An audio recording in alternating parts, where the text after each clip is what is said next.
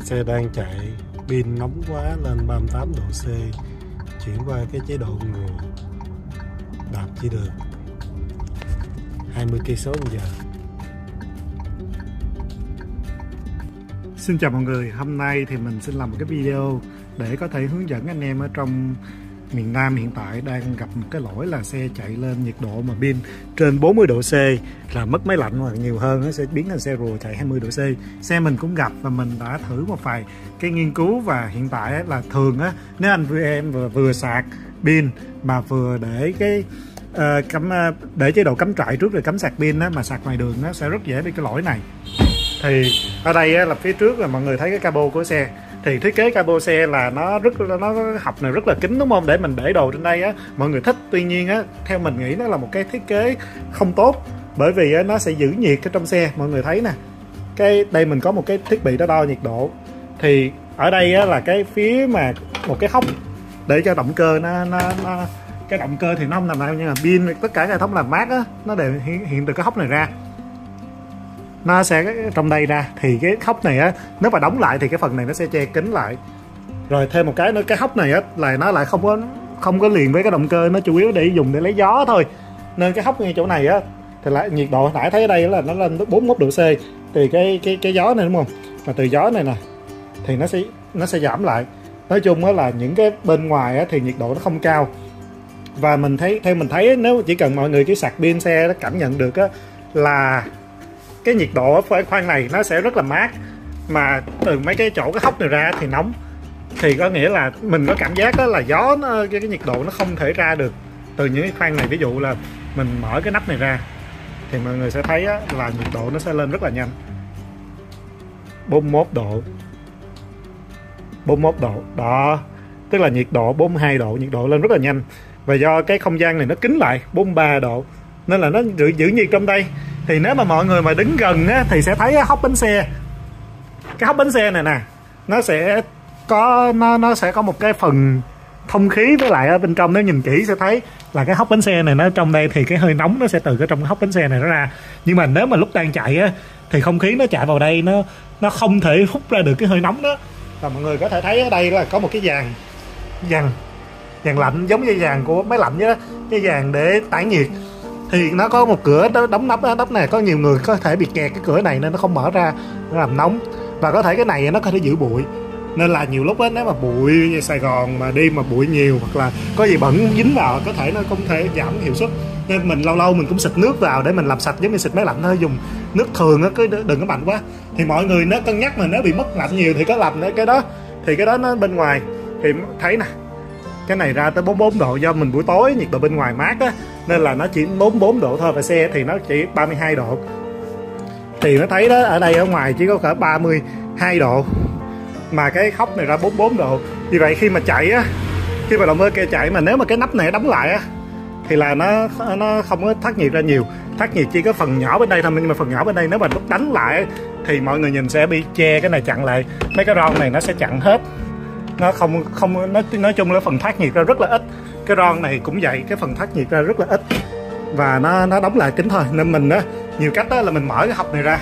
Thì vào cái thiết kế của xe Tesla đó nếu mà Tesla Y á, sẽ thấy á, là nó có một hốc nó có một, nó mở dài qua thì bên phía bên này á, nó vẫn là cái hốc để cho giống như là mình nghĩ là cho cái tản nhiệt hoặc là lấy gió gì giống như những chiếc xe thường thôi.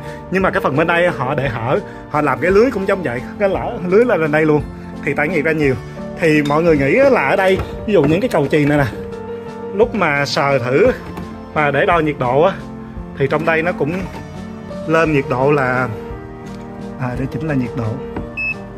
Cũng 4 43 44 độ, đó 45 độ. Tức là những cái hốc này ra tỏa nhiệt rất là nhiều. Nhưng mà nó đóng kín lại, nhưng mà tại sao mình mở những hốc này ra nó lại không không có tác dụng? Nếu mở tất nó mới không tác dụng. Tại vì đơn giản đó là Vintage có cái ron này nên mở ra thì nó che hết cái ron thì nó lên đây nó đóng lại. Phần này nó cũng kín phần này là cách nhiệt. Nói chung cách nhiệt. Nên là lý do tại sao mà đậu trời nắng trời nắng nóng á nhiệt lượng nó tỏa vô nhiều. Và nó giữ là trong đây nó nóng nó nóng là không có tỏa đi đâu hết. Thì mình phơi xe một xíu thôi không có chạy. Gió không ra ngoài thì là mọi mọi thứ nó sẽ nóng lên và nhiệt lượng nó tỏa ra không được. Thì càng ngày càng nóng. Tức là do nó giữ nhiệt trong xe thôi. Giống hiệu ứng nhà kính mấy anh mà không bật máy lạnh á, thì trong xe anh cũng nóng. Đợi khoảng nửa tiếng đồng hồ là vậy phải bật máy lạnh lên. Thì cái này á, thì lúc sạc mình nghĩ á, là cách dễ nhất á mọi người. Nếu mà sạc nhanh là sợ bị nóng cứ tháo nắp cabo ra mở vậy hết vậy thì nó sẽ tản nhiệt ra hết. Nó tản được hết nhiệt trong đây ra. Thì hiện tại vẫn 45 46 độ. Thì 45 46 độ mà mình mở ra thì nó tản nhiệt càng nhanh thôi và đỡ bị lỗi mà mất máy lạnh. Thì hôm nay mình đã thử mình chạy á, là sẽ cái, cái chỉ có mở cái này ra rồi cái ron này mình cũng mở mấy nắp này ra cái ron mình mở một phần mình không có tháo hết thì và có một vài anh em trong Sài Gòn, thành phố Hồ Chí Minh đã nói là dùng cách này.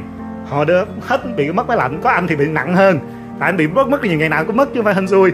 Nên là mình nói là có thể nếu mình nặng quá thì mở luôn cái nắp nhựa này ra luôn. Thực sự là xe E34 nó đâu có phần nhựa, đâu có phần này đâu, nó phần hở hết, nên mình nghĩ thoát nhiệt ra rất là dễ. Mọi người cứ nói sợ là mưa vào thì thật ra cái phần xe này thiết kế đã kín rồi. Cái phần này đã kín rồi, không lẽ chiếc E34 nó mở ra là bị gì? Và cái xe này á, thật ra rất là kín. Nhìn ở dưới dưới á, cái phần nắp xe phía dưới nè, nó rất là kín. Nhìn là không thấy một có, một cái lỗ hở đâu.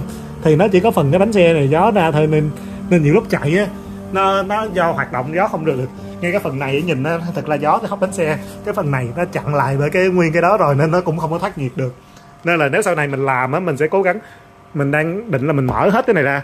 Cái xe demo của VinFast á nó có phần này cái thiết kế này nó cũng hoàn toàn khác. Nó nó cái hộp cầu chì nó để ra đây rồi cầu chì uh, uh, Acpi này nọ để khác cái phần này nó khác. Mà nó không có tấm lót này nên mình nghĩ nếu mà cái tình trạng xe mình mà bị rùa nhiều quá là mình tháo hết cái này ra. Thì hôm sau mình sẽ làm thêm một cái video nữa về cách khắc phục cái lỗi cọt kẹt. Cái lỗi cọt kẹt này khi đi vào chỗ chậm mà mới bị cọt kẹt á, là mình sẽ dùng cái chung dịch này để mình xịt vào. Thì hiện tại đó rất nhiều anh em đã nghe thấy mình nó không phải là cái cách mà tối ưu tại vì nó bị rồi nó cũng sẽ nó bị hoài. Tức là lâu uh, chạy khắc phục được một hai tuần hoặc tới mình là một tháng thì nó bị thì mình xịt lại thôi. Thì hôm sau mình sẽ làm cái video khác. Thì nếu mà anh em mà khắc phục được lỗi này bằng cách tháo cái nắp này hoặc tháo hết những cái nắp này rồi tháo những cái ron này ra hoặc là tháo luôn cái phần nhựa nhựa của cái hộp này ra mà nó khắc phục được cái lỗi rùa với lại cái lỗi lỗi máy lạnh khi lên 40 độ pin á thì hãy cho mình biết rồi thích thì cứ like và share và subscribe cho mình để, để có khi mình lên cái video mới về cái khắc phục lỗi và cái sử dụng chiếc xe này thì có thể biết được. Mình chắc là mình sẽ nghiên cứu mình khoan hết cái lỗ này. Khoan ra lỗ lỗ lỗ, lỗ nhỏ giống như là cái cái lỗ đó để thoát nhiệt rồi cái phần này nếu phần nóc này mà cùng lắm á có anh hỏi cái này gỡ được không? Cái này nó hàng hàng kính làm sao gỡ được? Cái phần phần nóc á mình cùng lắm á mình làm mình chế giống như cái hút của mấy chiếc xe mà bốn bốn mấy chiếc xe bán tải mà sợ nước vào trong hốc uh, trong trong họng gió đó mình sẽ làm làm cái đóng nối đây chạy thẳng lên luôn. Chỉ là mong là mấy anh đăng kiểm anh đừng có làm khó nhìn chứ xe hiện tại mình chạy nó cứ chạy tới giữa trưa nó nóng thì mệt quá. Nhưng mà hiện tại chiếc xe mình thì mình chỉ mình tháo cái nắp kia ra và tháo hết mấy nắp này ra nó đã, đã ổn định được cái tình trạng đó rồi. Mình xin cảm ơn mọi người. Như mọi người thấy thì đầu cái video là nhiệt độ pin lên 33 độ. Sau khi mình mở hết tất cả các nắp ra nhiệt độ pin chỉ còn 31 độ thôi mà mình đang sử dụng máy lạnh và đang sử dụng cái chế độ này. Thì mình mới nghĩ một cái nguyên nhân nữa mà cái máy lạnh của VinFast này nó nó hoạt động nó nó không ổn định nhé. Tại vì nó không có chỉnh được nhiệt độ, chắc nó không có inverter. Mà nó cứ dậy xuống cứ lên là nó cứ hoạt động là lạnh nhất. Nó cứ lạnh, nó phả hơi lạnh vô người mình và thật ra là nó có thể chỉnh được quạt nên nhiều người nếu mà nói xe lúc nào nó cũng lạnh thì người Việt Nam rất thích là xe lạnh xe phải lạnh cống như vậy nè. Nhưng mà có vẻ nó không có chỉnh được cái mức đó nó không có tăng giảm như cái máy lạnh Victor mà nó giống cái máy mono nhiều hơn.